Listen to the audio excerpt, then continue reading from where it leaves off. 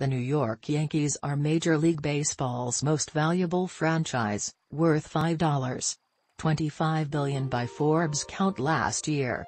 But the team's owners haven't stopped there, Yankee Global Enterprises also has stakes in reigning MLS champion New York City FC, the YES Network and Legends Hospitality, which works with sports and entertainment organizations and venues in areas like hospitality, partnerships, concessions and mercha.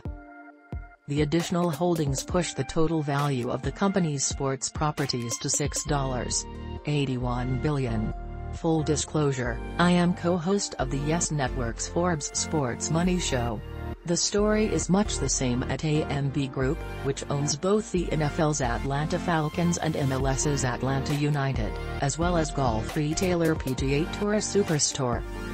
Monumental Sports and Entertainment's portfolio includes the NBA's Washington Wizards, the NHL's Washington Capitals and the WNBA's Washington Mystics, plus investments in esports and a regional sports network for digital, mobile and OTT platforms that had combined revenue of $500 million before the P.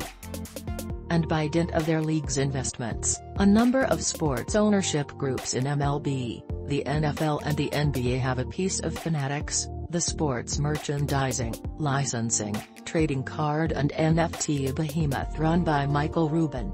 These sports empires are more valuable than ever, led by Liberty Media.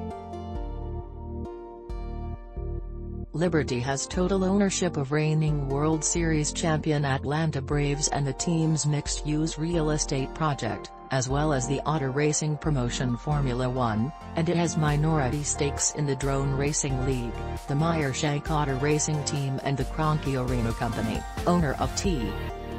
Total enterprise value, $17. 2 billion, an increase of 32% from last year, driven by big gains in revenue and operating income, in the sense of earnings before interest, taxes, depreciation and amortization, for the Braves and Formula One over the past year. Investors can easily bet on Liberty's sports assets through tracking stocks, but the private sports empires are attracting smart money as well. Investors believe they have enormous upside, not only because sports team investments have generally delivered superior returns to stocks but also because the companies and individuals behind the sports behemoths have a proven track record of scalability via their collection of teams and media, tech.